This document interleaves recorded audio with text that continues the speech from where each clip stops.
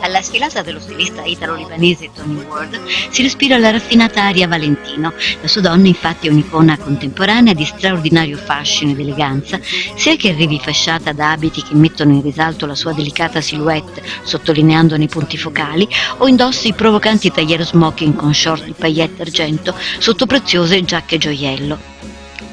I tacchi assassini sono come al solito 15 cm e una manchegna è caduta e scivolata per ben tre volte sulla lucida pedana sdrucciolevole molto più larga di quelle francesi, ma con grande classe ha continuato a sfilare imperterrita, applaudita da tutto il pubblico. I colori vanno da rosa al beige, al grigio, al bianco, al drammatico nero, coniugato in lungo e in corto da splendidi rigami in perle, pietre e cristalli, leitmotiv di tutta la collezione.